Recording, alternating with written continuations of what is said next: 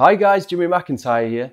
This is a quick announcement to say that I'm about to release my first course in over two years. It's called The Art of Photography and in it we're going to be looking how to produce an image from start to finish. We're going to look at shooting, composing, planning and plenty of post-processing.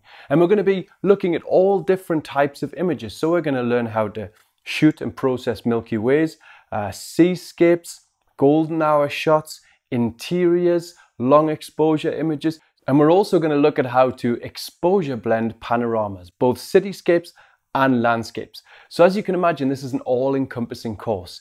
And we've got written cheat sheets included in the course just to help you remember some of the points in the videos.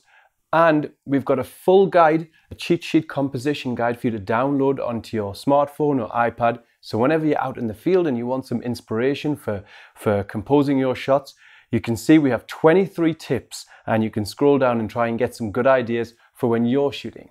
Now, if you'd like more information, you can click on the link that's appearing right now, or you can go to the description of this video on YouTube and click on the link there to see more. And when the course is published, we're going to include a 30% introductory discount. We're also going to be including a free preset and actions pack. So you got some Lightroom presets and some Photoshop actions and some sharpening scripts as well. And there's going to be a two-part beginner's Photoshop course as well included.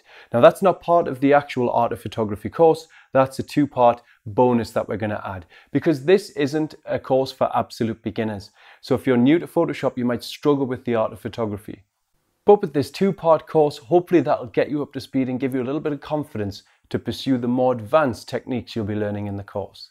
So that's it from me for now. On the 11th of August, I'm going to publish a video just to show you what the course is about and remind you that it's now available. And until then, you can see more information on my website, shutterevolve.com. So thank you very much and I'll see you next time.